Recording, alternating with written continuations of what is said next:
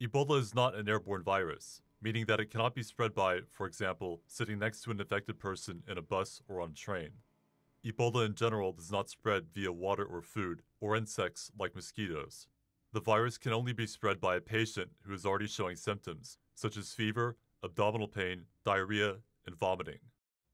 To become infected, a person needs to come into contact with an infected person's bodily fluids, such as blood, sweat, feces, urine, saliva, or semen. The virus can be spread through direct contact with broken skin or mucous membranes.